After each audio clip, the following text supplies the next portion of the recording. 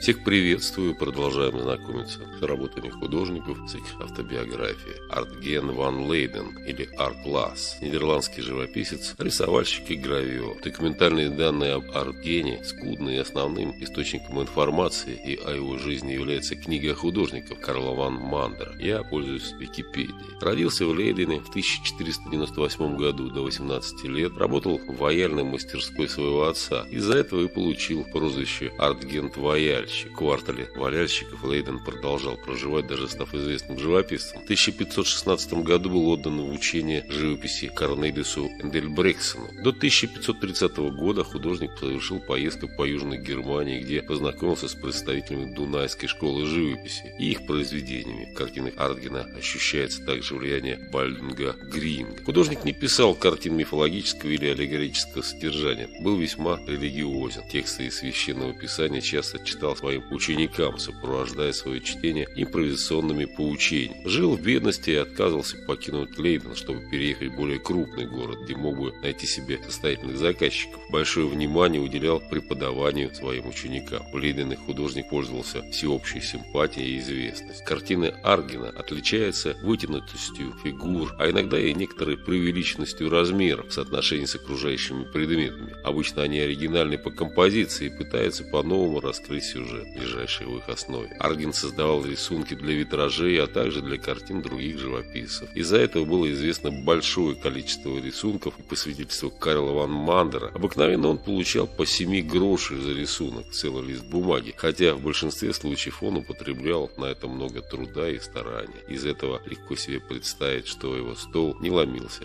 от заморских яс, так писал Карл ван Мандер. Работал художник в основном по заказам состоятельных горожан Лейдена. Находился под значительным влиянием своего учителя Корнелиса Энгельбрехтена, позднее Яна ван Скорла, а затем и своего более знаменитого сверстника Мартина ван Хамскерка, особенно в том, что касалось изображения архитектуры. Несмотря на их влияние, умел сохранить свою самобыт. Погиб случайно в 1564 году в возрасте 66 лет в результате несчастного случая, поздно вечером в темноте, упав в ров, который был предназначен для черпания воды. Четыре картины Аргена находились в коллекции Рубенса, которая проявляла проявлял интерес к творчеству художника. Несколько картин находилось и в собрании Рембрандт. В 18-19 веках интерес к личности и творчеству Аргена отсутствовал. Сам Арген не подписывал свои картины. Атрибуция Аргену обычно допускается в отношении анонимных картин, занимающих промежуточное положение между работами его учителя Энгельбрехтсена и его соученика Луки Лейденского. Все свои заказы Арген оформлял в трактире, засиживаясь до поздней ночи, хотя и не отличался страстью к выпивке. После случайного нападения пьяного художник боялся возвращаться по своему бедному кварталу ночью домой и часто поэтому останавливался в снятой специально на ночь комнате в центре города. Ну вот так вот вкратце, данных не очень много, данные из переводной Википедии о художнике, нидерландском живописце, рисовальщике и гравере Артген ван Лейден или Арт Кла. Пока-пока, до свидания, всего хорошего.